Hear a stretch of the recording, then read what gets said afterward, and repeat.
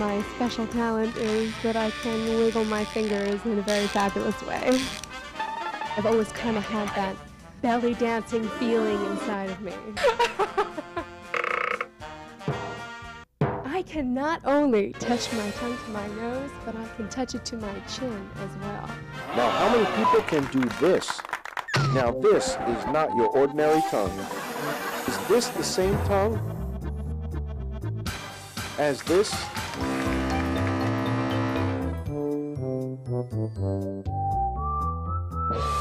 And now, from wide as a paddle to thin as a rail,